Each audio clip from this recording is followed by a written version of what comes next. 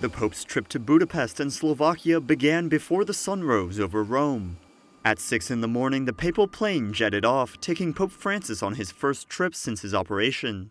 Riprendiamo i viaggi e questa è la cosa molto importante perché andremo a portare la parola e il saluto a tanta gente. The Pope greeted the journalists on board the flight, who offered him various gifts.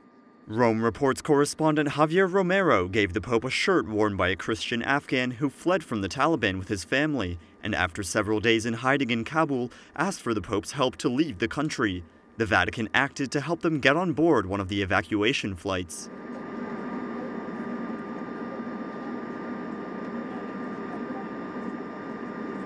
Pope Francis arrived in Budapest just a few minutes ahead of schedule. Dozens waited for him on the tarmac, including the Archbishop of Budapest, Cardinal Peter Erdő, and the Deputy Prime Minister of Hungary. The Pope will spend Sunday morning in Budapest and will celebrate the closing Mass of the International Eucharistic Congress.